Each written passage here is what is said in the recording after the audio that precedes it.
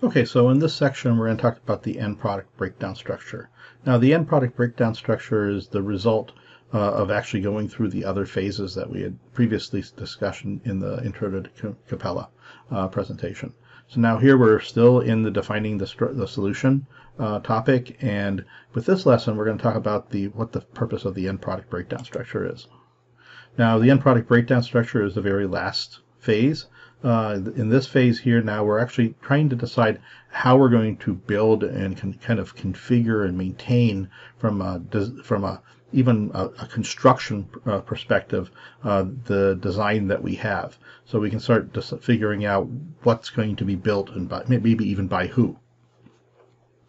So in this phase uh, again, with a reminder of what we're working on, we're working on this uh, Trail Power, and you can see here that the Trail Power, even in this picture, is now we're starting to think about what are the various portions of that system. Uh, you will see how uh, the configuration I deliver this physical architecture and how the product is basically planned to be delivered by sets of components uh, and how some of the sets may be configured together as an item uh, and how items are the key to working with suppliers. So in this view, we, we have this diagram, and I'll go into a little bit of a demonstration of it.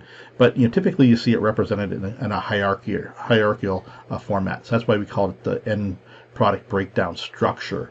So it shows that, okay, I have this thing called trail power, and trail power basically is broken down into a number of what we would call prime items. So I've got the, the solar charger, I've got the telemetry system, and I have the stand. So you see here that here's just the, the top part would be the charger. Uh, and then the prime item is broken down into pieces also. And in this case, you can see the prime item has solar panels and it has this charger box and it has some screws and it also has some lighting. So the whole lighting system is part of this prime item.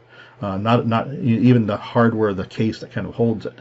Now over here, the telemetry system, it has, has different pieces. There's a photon particle that's part of it, and there's the telemetry software of it. And the telemetry uh, hardware actually comes with a circuit board that includes it. And then, uh, so there's a signal sensor board that's with it and an antenna. So those are all part of this telemetry system. And then finally, the last thing is the, the stand that the solar charger on is the prime item stand. Now going live, let's go into the software and we'll take a look at that. Um, we're going to open up the EPBS structure and we're going to see a couple different breakdowns. Uh, I'm going to open up the structure view here and you can see I've started building out the structure that you were just seeing uh, in this view.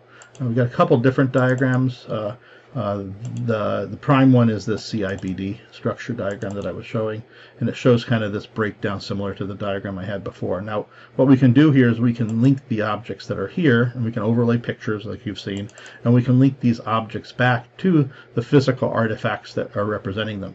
And in this case, this implements the charger box that was in that physical architecture. So if I bring up my physical architecture here and show that diagram, We'll do the one uh, with nodes, for instance. I'll show that in this view on the side. And then we bring we show the, the BID. So you hear here's my charger box here. You see the objects that are you know basically being shown. Uh, those objects are these objects over here. So this is the charger box. And you know one way to easily see that is you know I can even open this up and when we edit this you can see that those objects have been brought over and they are all then part of that that that part of the solution and so that basically shows what things are going to basically be grouped together and assembled as components. So the prime item, again, again the solar panel is an individual prime item. That's going to be brought with the, sol the, the, the solar cell, uh, and it's going to become part of this whole system here. And this shows what are all the pieces of the charger box. I have this board, I have that battery. All these things have to be brought together.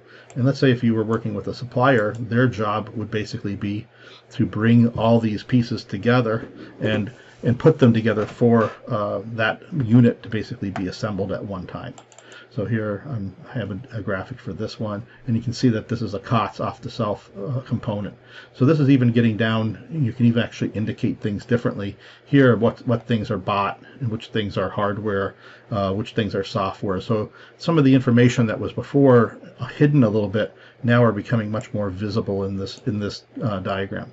And you can see over here uh, the, the, different designations that we have for that.